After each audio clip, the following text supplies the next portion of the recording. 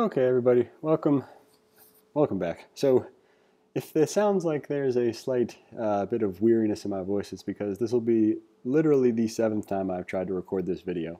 And a couple of things have occurred to me over the last little bit.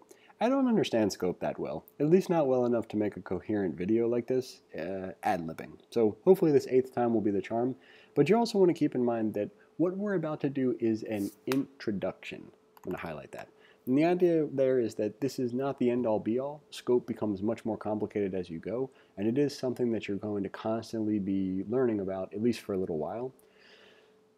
The global example, like the way to literally picture how scope might work, would be picture languages and then picture like the globe.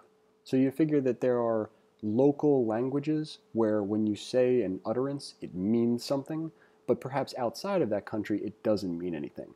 Now, there are some things that might be global language identifiers, maybe like a smiley face. You could picture that that's globally applicable. The problem would become if somebody in a certain country decided that a smiley face meant frowning. It meant the opposite of being happy. Uh, you'd run into a problem because globally a smiley face is defined as being a happy symbol, but some local situation has it defined in the opposite fashion. Now, that's about as good of an example as I can come up with, but here's, here's the sort of like the map that I created for the way you want to think about scope for now. So we have code that is inside of a function, and we don't need any output at the moment. So here is our function. Function goes from here to here. So this is the name of the function we asked you to write, and in general, your best bet is going to be, other than test cases, for the definition of the function, write everything inside of your function either interact with the parameters or the input of some kind, or create a local variable. Variables created outside of the scope of a function, which is to say outside of inside of the function, are considered global, at least global for the context that we're in, which again is this index.js file. You consider that all of this is essentially its own function when it gets run, and it's not, but it kind of is, so we'll consider it like that. We also have things that are created inside of a variable, or inside of a function. So input of the function that we asked you to re retie. Well, this is spelled incorrectly, but that's okay. Um, you want to consider that you could create variables inside of your function that are defined for the scope of that function, but aren't able to be accessed outside of that function. We can reach out, meaning that inside of here we could refer to the global variable, but we can't refer outside of this function to variables created inside of it. We also really want to avoid doing the same thing with parameters. Parameters are usually local to the variable that they're uh, uh, you know, in. And so you don't want to do something like try to reference the parameter of a function outside of that function.